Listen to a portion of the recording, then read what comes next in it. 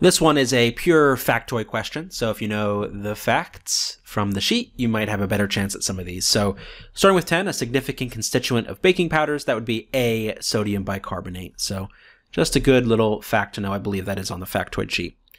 A constituent of gas of gasoline, well, that's going to be this guy right here. Gasoline is going to be something made up of organic compounds, and primarily it's going to be octane. That's what this compound is. This is octane, and you might if you've ever filled up a car or been in a car that was filled up with gas, heard of things like the octane number and, and things like that. So that is connected to it. So gasoline is primarily made up of octane, or maybe not primarily, but certainly has a major constituent of it is octane. And so that would be choice E.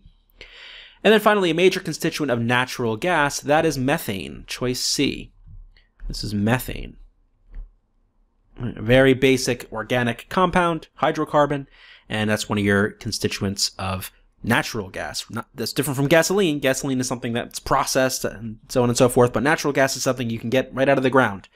And so that would be choice C. The other two, H2SO4, that one is a strong acid.